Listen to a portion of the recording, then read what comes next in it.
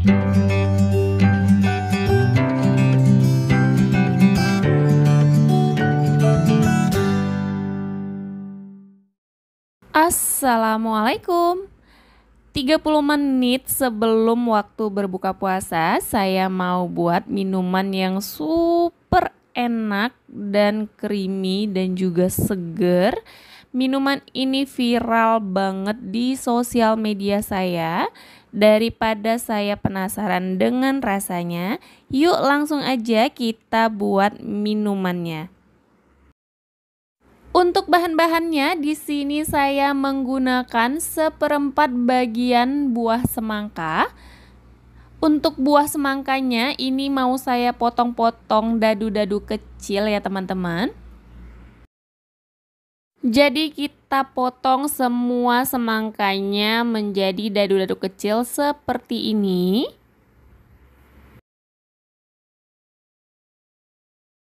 Dan kalau semua semangkanya sudah kita potong dadu-dadu kecil, ini kita pindahkan ke wadah mangkok yang besar ya teman-teman.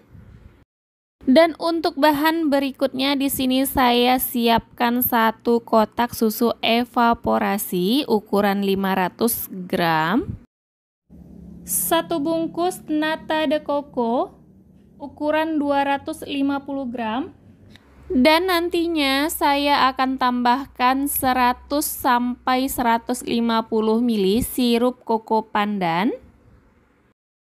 Setengah kaleng creamer kental manis untuk merek bebas ya teman-teman.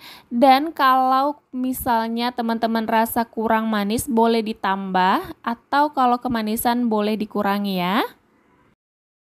Dan untuk bahan yang terakhir di sini saya ada merendam 1 sendok makan biji selasi. Saya rendam menggunakan air minum 100 mg.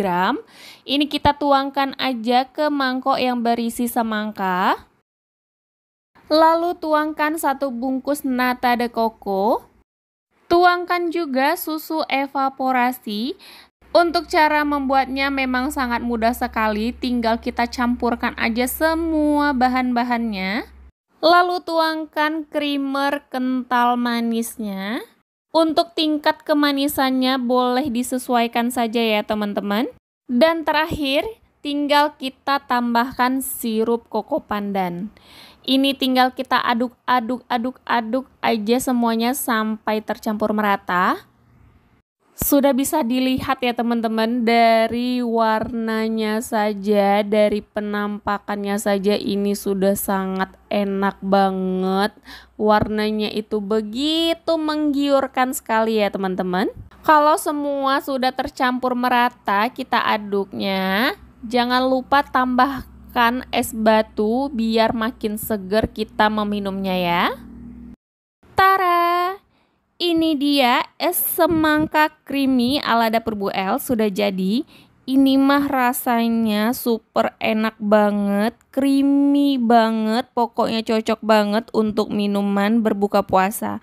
Pantesan saja minuman ini viral banget ya teman-teman Karena memang senagihin itu sampai-sampai saya buat lagi minuman ini karena kehabisan Es semangka creamy ini bisa juga dijadikan ide jualan tinggal dibungkus dengan cup-cup seperti ini ukuran 350 ml ataupun ukuran yang lainnya ya teman-teman.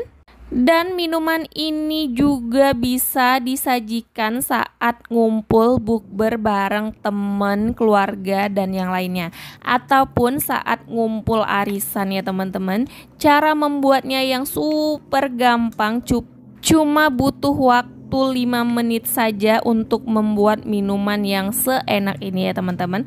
Pokoknya teman-teman wajib banget cobain ya. So, sekian dulu video saya hari ini. Semoga video ini bermanfaat buat teman-teman semua. Sampai ketemu lagi di video-video saya yang akan datang.